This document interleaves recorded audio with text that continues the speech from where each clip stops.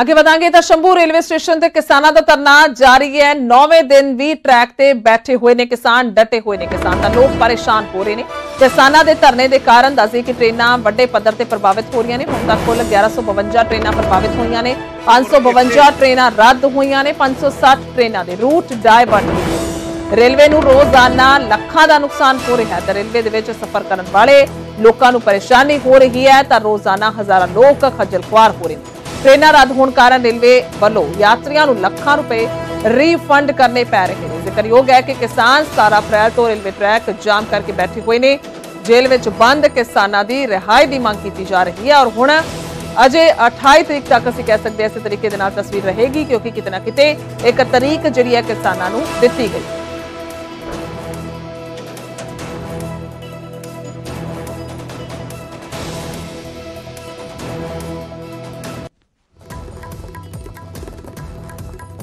ਤਾਂ ਇਹ ਦੋ ਤਸਵੀਰਾਂ ਨੇ, ਰੇਲਵੇ ਟਰੈਕ ਤੇ ਕਿਸਾਨ ਬੈਠੇ ਹੋਏ ਨੇ, ਦੂਜੇ ਪਾਸੇ ਗਾਹਕ ਨਹੀਂ ਪਹੁੰਚ ਰਹੇ। ਅੰਬਾਲਾ ਦੀਆਂ ਤਸਵੀਰਾਂ ਨੇ, ਅੰਬਾਲਾ ਦੇ ਦੁਕਾਨਦਾਰ ਇਹ ਕਹਿ ਰਹੇ ਨੇ, ਕਿਉਂਕਿ ਜਿਸ ਤਰੀਕੇ ਦੇ ਨਾਲ ਸ਼ੰਭੂ ਬਾਰਡਰ ਤੇ ਵੱਡੀ ਗਿਣਤੀ ਦੇ ਵਿੱਚ ਫੋਰਸ ਤੈਨਾਤ ਹੈ, ਰਸਤਾ ਬੰਦ ਹੈ, ਤਾਂ ਫਿਰ ਪੰਜਾਬ ਵਾਲੇ ਪਾਸੇ ਜਿਹੜੇ ਅੰਬਾਲਾ ਦੇ ਵਿੱਚ ਜਾਂਦੇ ਨੇ ਗਾਹਕ, ਤਾਂ ਉਹਨਾਂ ਦੀ ਆਮਦ ਬਿਲਕੁਲ ਬੰਦ ਹੋ ਚੁੱਕੀ ਹੈ, ਲਗਭਗ। ਔਰ ਬੇਹੱਦ ਵੱਡਾ ਨੁਕਸਾਨ ਹੋ ਰਿਹਾ ਹੈ। ਕੱਪੜੇ ਦਾ ਵਪਾਰ ਦੱਸਦੀ ਹੈ ਕਿ ਬੇਹਦ ਵੱਡਾ ਹੈ। ਅੰਬਾਲਾ ਦੇ ਵਿੱਚ ਔਰ ਦੂਰੋਂ ਦੂਰੋਂ ਲੋਕ ਜਿਹੜੇ ਨੇ ਅੰਬਾਲਾ ਦੇ ਵਿੱਚ ਖਰੀਦਦਾਰੀ ਕਰਨ ਪਹੁੰਚਦੇ ਨੇ।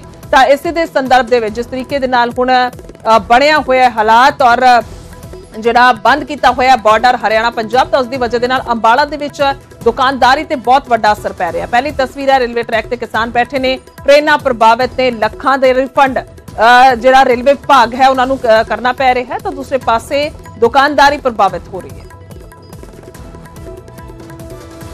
धरने पे बैठे हैं, तब से कपड़ा मार्केट में कोई भी व्यापार नहीं चल रहा है।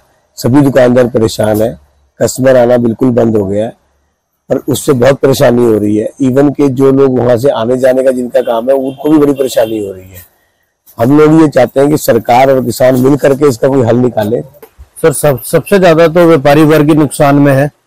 हमारी मार्केट जो है पूरी तरह से बाहर के कस्टमर्स के ऊपर डिपेंड है। यहाँ पे हरियाणा का, पंजाब का, हिमाचल का। सारा कस्टमर यहाँ पे आता है। बॉर्डर बंद होने के कारण, में ट्रेनें बंद होने के कारण कोई भी कस्टमर नहीं आ रहा। पूरा फ्लो मार्केट के अंदर देखो, सारा बिल्कुल खाली बैठा है। बहुत बड़ा नुकसान है सर। कितने महीनों से ये किसान अपनी मांगों को लेके बैठे हुए हैं, जिससे वहाँ के कोई व्यापारी वगैरह, क्योंकि कपड़ा मार्केट में तो बाहर के व्यापारी के ऊपर डिपेंड है।